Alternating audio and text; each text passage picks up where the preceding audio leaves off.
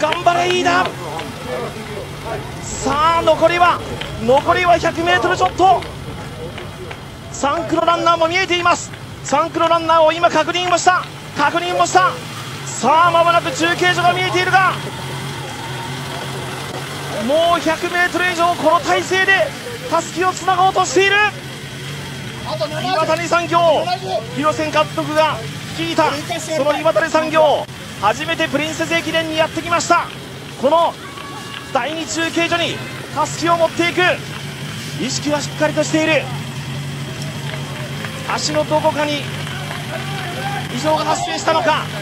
さあその中継所見えてきた。おそらく飯田の目にも3区のランナーが見えているはずです。3区のランナーが心配そうに見つめる中今田が待っていますが今田マリエが待っている今田マリエが待っている。さあその中岩谷産業初めての出場創部2年目。さあたすきをつなげるか。残り 50m になりました。残り 50m になりました。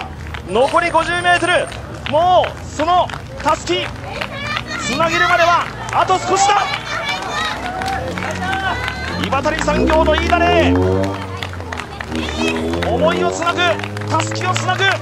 そして全国の舞台に6人で行く。3区の飯田まりえはもう涙が止まりません。待っている3区の今田まりえは涙が止まらない。今涙を拭った。サング姿。そしてもう見えてきた。初めてやってきた。岩谷産業。2区の飯田玲が。さあたすきがつながりました。岩谷産業飯田玲から今今田まりえにたすきがつながりました。思いはつながった岩谷産業。初めての出場。今田まりえがスタートしていきました